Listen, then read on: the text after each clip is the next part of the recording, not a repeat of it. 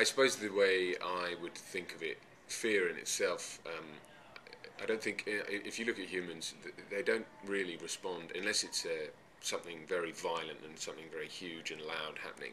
You don't tend to respond in a in a very overt way. Often, often it's very internalized. Um, you kind of have a fight or flight instinct, which is basically to get the fuck out of there, or can I swear? Yeah. Um, or to deal with the situation itself. So I always think you need to think about it internally, and then also think how you would respond as yourself, and how would how would you you know try and make the situation as real as possible, base it in your own reality, and then yeah think about w- how that fear would affect you. You know, especially if you're playing something where you may be scared or worried or whatever, but you do need to respond to it in the scene. So it needs to be internalized. That's where it comes from. Everything must, everything's got to come from you, you know, within. It's got to be as real as you can make it.